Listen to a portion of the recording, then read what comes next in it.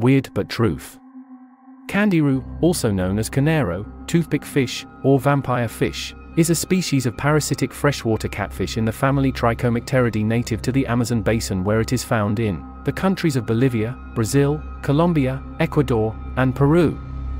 The candiru, sometimes known as the penis fish, is a small Amazonian catfish.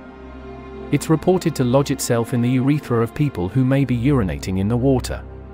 Despite all of these claims, there's very little credible evidence that the candiru fish has ever invaded the human urethra.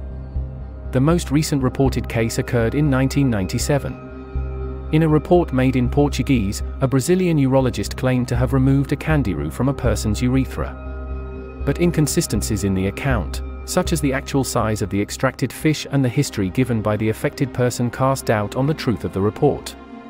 In addition, a 2001 study found that the candiru might not even be attracted to urine. When researchers added chemical attractants, including human urine, to a tank of candiru, they didn't respond to it.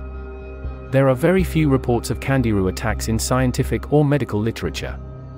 Additionally, many of the historical reports are anecdotal accounts relayed by early explorers or travelers to the region.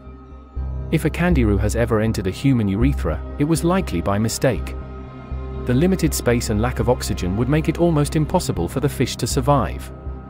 Candiru supposedly swimming up a man's urethra might actually be a hoax. This weird but truth.